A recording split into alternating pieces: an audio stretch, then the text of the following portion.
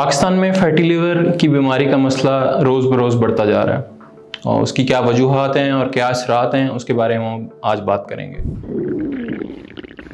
लगता है बाज़ार के खाने बहुत खाते हो। जी डॉक्टर साहब। मैं ये मेडिसिन प्रिस्क्राइब कर रहा हूँ वो आप ले लेना। अब कोई भी मसला हो तो मरहम से डॉक्टर की ऑनलाइन कंसल्टेशन बुक करो। क्योंकि डॉक्टर से बात होगी। अब घर पर मेरा नाम डॉक्टर वकास शबीर है। मैं असिस्टेंट प्रोफेसर हूँ गैस्ट्रोएंट्रोलॉजी का लाहौर जनरल हॉस्पिटल में। आज हम बात कर रहे हैं फैटी लिवर उसकी क्यों हमारी पाकिस्तानी सोसाइटी में बढ़ता जा रहा है और उसकी क्या वजूहत और क्या असरात हैं। सबसे बड़ी वजह फैटी लिवर की हमारी सोसाइटी में बढ़ने की एक तो ये है कि हमारा लाइफस्टाइल हमारा बड़ा सेडेंट्री लाइफस्टाइल है जिसमें इनएक्टिविटी है एक्सरसाइज और उसके रिलेटेड जितनी फ़िज़िकल एक्टिविटी है, वो कम हो गई, जिसकी वजह से फ़ैट अकोमोलेशन या चर्बी का इकट्ठा हो जाना बॉडी में, वो बहुत ज़्यादा हो गया। और इसके साथ साथ खाने पीने की जो हमारी हैबिट्स हैं, उसमें फ्राइड चीज़ें और साथ में जो गैर सेहतमंदाना हमारे खाने पीने के तौर तरीके हैं, उसकी वजह से ये बीमारी में दिन ब दिन इजाफ़ा हो रहा है इस बीमारी में।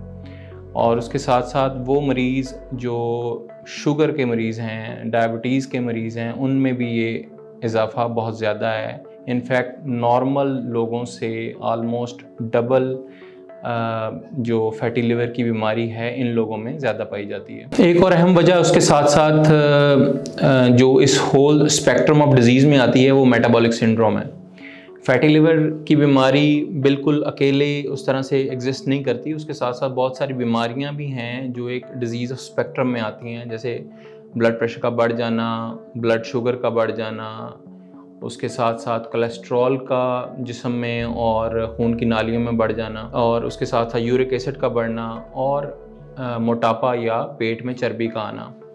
ये सारी चीज़ें जब मिल जाती हैं, उसके साथ साथ फैटी लिवर का रिस्क भी बढ़ जाता है। और ये जो सारी वजूहत हैं, जो कि हम देखते हैं, जिसकी वजह से मरीज़ों में फैटी लिवर की बीमारी का इजाफा हो रहा है। अब इसकी अलामत क्या हो सकती हैं फैटी लिवर की? हम इसमें ये आप कह सकते हैं कि एक तरह की साइलेंट बीमारी है, लेकिन उसके वजूहत, जैसे मैंने बात की कि मोटापा एक ऐसी चीज़ है जिसको आम तौर पे नज़रअंदाज कर दिया जाता है और जैसे कि पेट में चर्बी होती है, उसी तरह जिगर के गिरद भी चर्बी इकट्ठी हो जाती है। और उसकी वजह से थकावट, बेचैनी, इरिटेशन और पेट में डिस्कम्फर्ट होना, पेट का फूलना, ये या दर्द होना बिल्कुल पसलियों के नीचे राइट साइड पे ये उसकी कुछ अलामत हैं जो कि फैटी लिवर के मरीज़ जिसे सफ़र करते हैं। तो इससे हम कैसे इसको बच सकते हैं, उसके लिए बचाव के कुछ तरीके यही हैं कि हमें लाइफस्टाइल को चेंज किया जाए, रोज़ाना वॉक की जाए एक्सरसाइज की जाए, उसके अलावा खाने पीने की जो हैबिट्स हैं उसको मॉडिफाई किया जाए।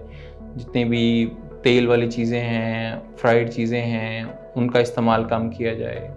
शुगर ख़ास तौर पे एक ऐसी चीज़ है जो हम जनरली हर चीज़ में यूज़ करते हैं चाहे वो मशरूबात हों या खाने पीने में अ, शुगर का इस्तेमाल हो।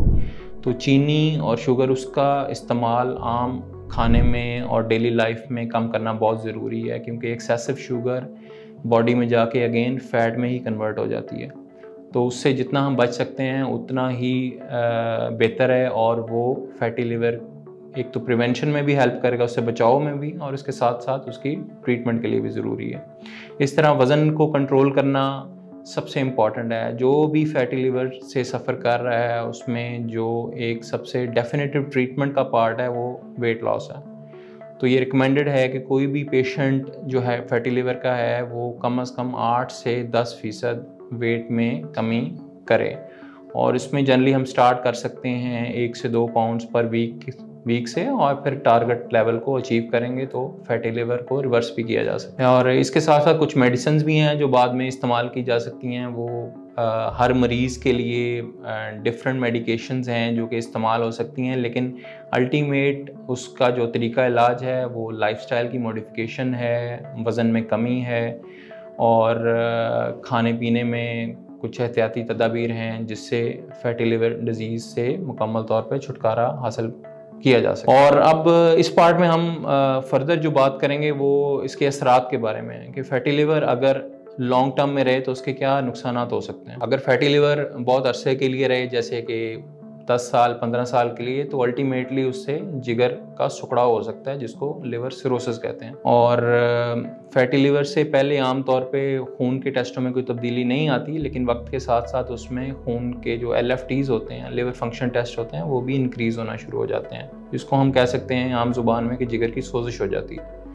सोजिश के बाद फिर आहिस्ता आहिस्ता उसमें सुकड़ाव शुरू हो जाता है जिगर का, और अल्टीमेटली कुछ लोगों में फेलियर ऑफ़ लिवर और लिवर ट्रांसप्लांटेशन की भी नौबत आ जाती है। ये एक काबिल बचाओ डिज़ीज़ है और हम अपने लाइफस्टाइल से और बाकी मॉडिफिकेशन से इससे बच सकते हैं और टाइमली अगर इसको रिवर्स कर लिया जाए तो इसके जितने भी मोहलक असरात हैं और पेचीदगियाँ हैं उससे बचा जा सकता है। अगर आपको फैटी लिवर के बारे में आ, कोई मज़ीद मालूम चाहिए तो आप इस पोस्ट के नीचे कमेंट कर सकते हैं और अपने सवाल पूछ सकते हैं। अगर आप मेरे साथ ऑनलाइन या फ़िज़िकल कंसल्टेशन चाहते हैं तो फिर आप मरहम डॉट कॉम के थ्रू अपॉइंटमेंट बुक कर सकते हैं।